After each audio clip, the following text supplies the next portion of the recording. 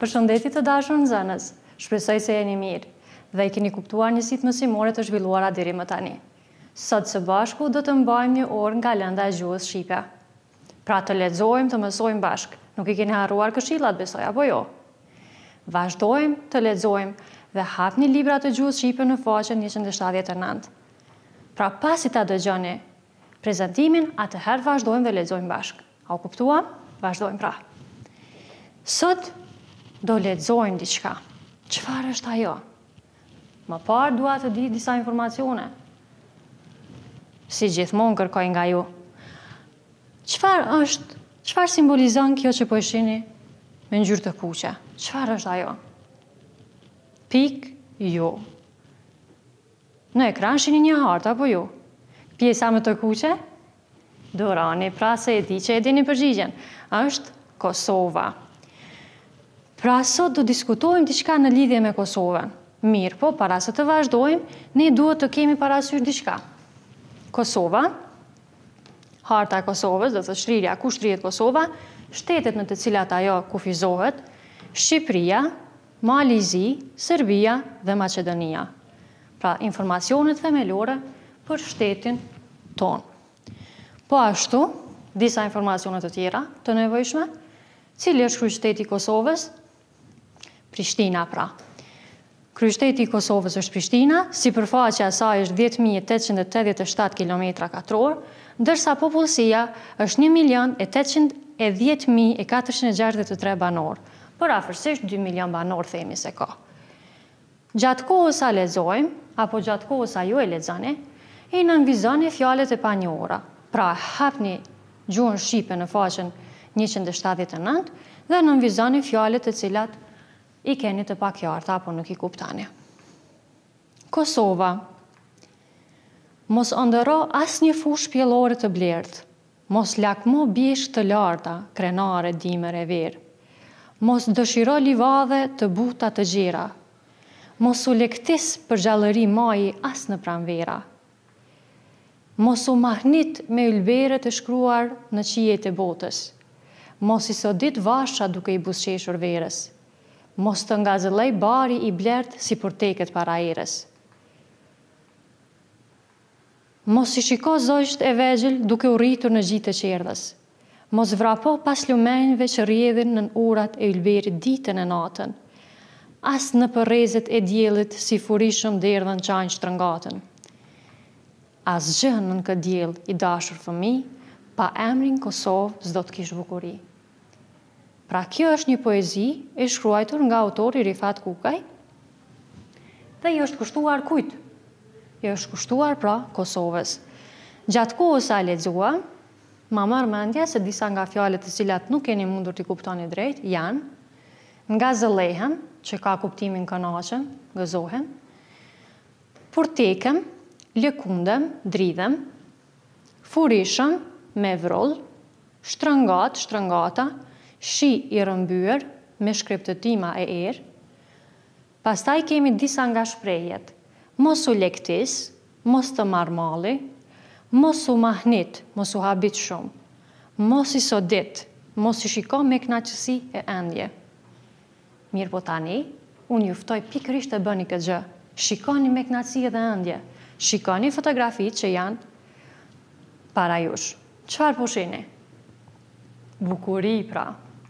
Tjetër, po shihni fusha, kodra, male, ura, liqene, po këtu bukuri verore gjatë verës, apo në dimër, pjesa ku duam të skijojmë.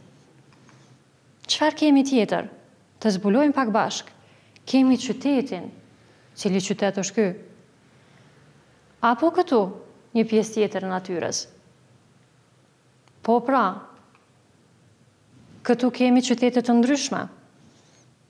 E çfarë janë gjitha këto? Po këtë parkun këtu, keni qenë ndonjëherë? Po, sigurisht. Pra, po t'ia tregojmë dikujt këto foto, do thonë, po çfarë, ku janë, në cilin shtet të botës ndodhen këto? Po ndodhen pikërisht në Kosovën tonë të bukur. Dhe janë vetëm disa nga fotografitë të cilat kam mundur t'i gjej, pasi ka me mijra e mijra bukuri të cilat duhet t'i shofim. Pra keni qytetin e Prizrenit, parkun e Gërmisë, disa nga monumentet dhe pjesë kryesore të kryeqytetit Prishtinës, Gjakovën atje tutje, pastaj më herët patëm bjeshkët në Rugovë e shumë e shumë gjëra të tjera. Me këtë rast, unë bashkë me autorin, ju bëjmë thirrje, ta duam vendin tonë. Pikërisht për këtë arsye, Dhe jo vetëm. Duaje vendin tënd, vlerësoje atë dhe puno e mëso çdo ditë që së bashku ta bëjmë akoma vend më të mirë për të gjithë ne.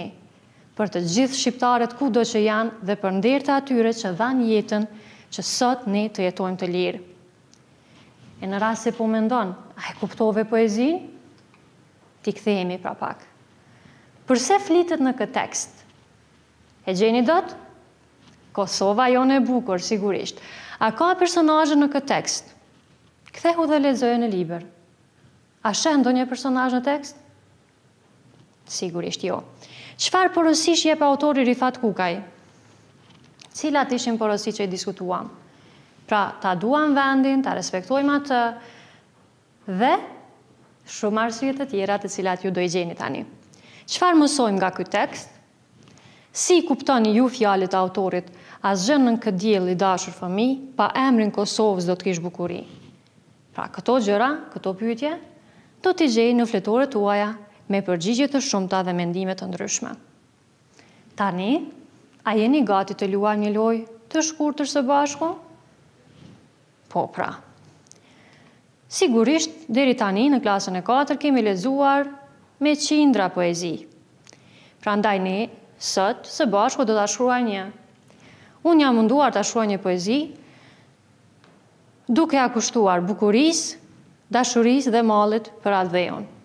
Pra poezia është për Kosovën dhe ia kam vënë titullin Kosova jonë. Po detyra juaj është të gjeni se cila pjesë e verdhë shkon me pjesën e kaltërt dhe kështu të formojmë strofat. Pra, a jeni gati? Vazhdojmë pak. Kosova jonë e bukur, o sa shumë të duam. Cila pjesë shkon tani? A shkon nuk ngopemi me ty se ti je shtëpia jonë? Jo pra! Të shohim dhe një herë. Kosova jonë e bukur o sa shumë të duam nuk ngopemi me ty se ti je shtëpia jonë. Nuk po ka fare kuptim. Prandaj vendosim pjesën tjetër. Ta provojmë këtë. A shkon? Kosova jonë e bukur o sa shumë të duam, je vetë gëzimi ynë, vend i paharruar. Si ju duket? Mirë pra. Vazhdojmë me tjetrën. Të duam Kosovë hyjneshë e bukurisë. Cila pjesë shkon? Cili varg? Cilat vargje duhet t'i vendosim? Nuk ngopemi me ty se ti je shtëpia jonë? Pa të shohim nëse i përshtatet. Të duam Kosovë hyjneshë e bukurisë, nuk ngopemi me ty se ti je shtëpia jonë. A shkon? Apo më mirë të kemi vargun tjetër? Ejani ta lexojmë bashkë? Të duam Kosovë hyjneshë e bukurisë ne t'i duam gjithë bukuritë. Ja pra e rregulluam dhe këtë. Kush na ka mbetur në fund? Të duam dhe kur jemi larg teje oh sa na mungon. Nuk ngopemi me ty se ti je shtëpia jonë. Pra çfarë bëmë ne? Formuam strofa të ndryshme. me temën Kosova jonë. Pra, ia kemi kushtuar bukurisë, duke thënë se sa e bukur është, dashurinë për atdheun se sa shumë e duam dhe mallin se sa shumë na mungon Kosova kur jemi larg saj. Pra në fund, poezia do duket kështu.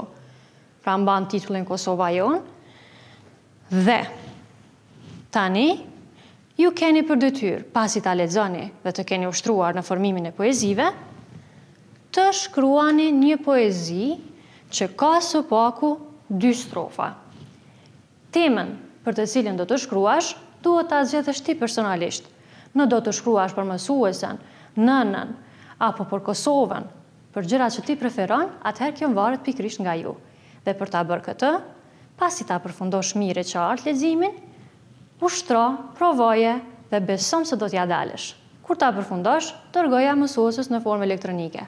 Po patë ndonjë sugjerim apo kritikë, pyetje, për ne, mund na shkruash dhe neve. Deri në takimin tonë të radhës, unë të uroj suksese dhe gjithë të mirat.